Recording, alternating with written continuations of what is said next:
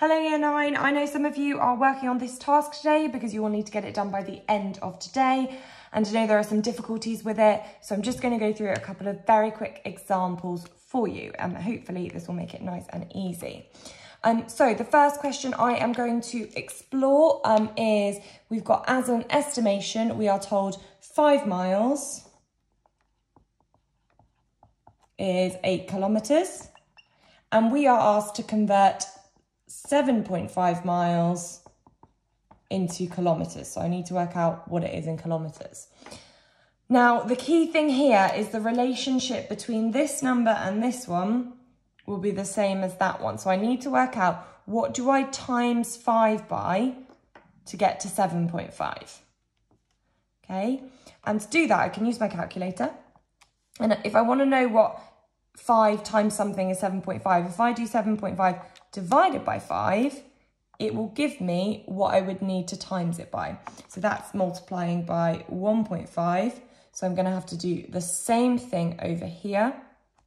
And I'm going to have to do 8 times 1.5, which is 12. Okay, so... Oh, kilometres, sorry. So 7.5 miles is 12 kilometers. I'm going to do another one and I'm going to keep that one at the top there so you can see it. So my next one is I've got the same thing again. I've got it's five miles is eight kilometers. And I've been asked to convert uh, 60 kilometers into miles. Same thing again, the relationship here has got to be the same as there. So I've got to work out what do I multiply 8 by to get to 60. And to do that, use my calculator. And because I'm working out what would I do, 8 times something is 60. If I do 60 divided by 8, I will get what that something is, and it's 7.5. So I'm going to have to times this by 7.5 as well. And 5 times 7.5 is 37 0.5 miles. Okay, just going to do one more example very quickly. Slightly different this one because we're actually asked about money. So we're told as an estimation, we are told that three pounds is roughly uh, four euros.